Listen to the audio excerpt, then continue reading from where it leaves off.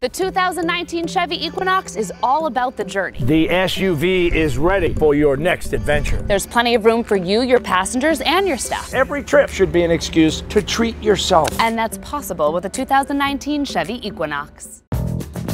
There are so many breweries scattered all over Massachusetts. I think there are 130 of them in Massachusetts alone. So I decided, you know what? I need to learn more about the brewing industry. And I want to introduce my friend Howie Rubin. Good to see you, buddy. How are you? We're out here in Essex, Massachusetts. Great Marsh Brewing, which by the way is beautifully situated on the Essex River and the beautiful Great Marsh. But here's my starting question, Howie. I've known you for years, right? A lot of years. You're a wine guy, Bauer Wines. Yeah. Why Great Marsh Brewery, though? But this isn't your typical small little brew pub. This is a beautiful restaurant scenario with great views out the back. And we're going to meet John, the brewmaster, right? All right, And good. also the owner. So let's go downstairs to the laboratory.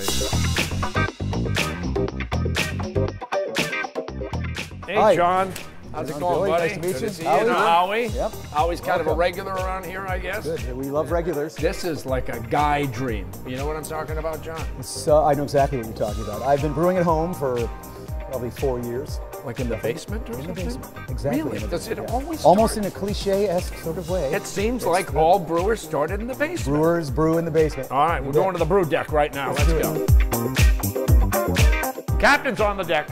What's That- going so on in here? That is our wort. It's circulating. Let me get you some light. Whoa, oh, you got So- light in there and everything? So there's a rake that's turning. That's keeping anything from clumping inside. And then what's happening is a false bottom, and recycled, Wow. and then pulled out and thrown into a kettle next door. All right, so we're gonna go to the tap room now, okay? And we're gonna play a little game.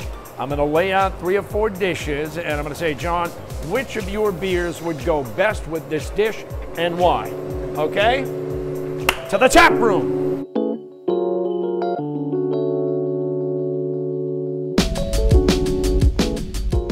Right, so here we are in the tap room, and, and I've got John with me. Howie's still hanging out, and I'm sure you've got favorites. And I go flights. I always go flights. You go flights. So this is your lobster roll. What's the beer? Munich Helles. So Helles is an all-day beer, a low alcohol, very drinkable, um, clean beer. See, I like that. And now I've got your margarita flatbread. And what's the beer and why? So this is a Belgian triple. It's a sweeter beer. The yeast drives a very fruity, sweetened finish. The bouquet is the bouquet, the nose. Yeah, nose The nose. I got it. did- there's a nose. The nose is good on this. Oh, it's lovely. I just got a beer mustache.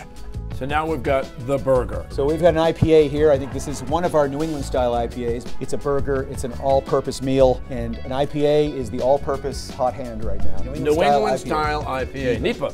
V5. And this is your bacon mac and cheese. Oh yeah. What beer are we having? So is this is a a, stout? a classic stout, correct. And a stout is a softer, more gentle drinking beer. You'll notice uh, something. Let's see if you taste it. A little coffee yes. and a vibe there. And then lastly on here, The tacos. we're in the tacos. And Okay. this is the London Brown Porter. The Yeah. porter is actually the precursor to the stout. So this is what Arthur Guinness himself made. Howie, thank you so much Thank for you, bringing Billy. us out here. Billy, John, thank you very much. You should be Howie. teaching a course or something at a university in this. This is so cool. I would actually enjoy that. I'm going to suggest Wentworth or something like it. All Uh, good. he's busy enough. Hopefully they watch the show.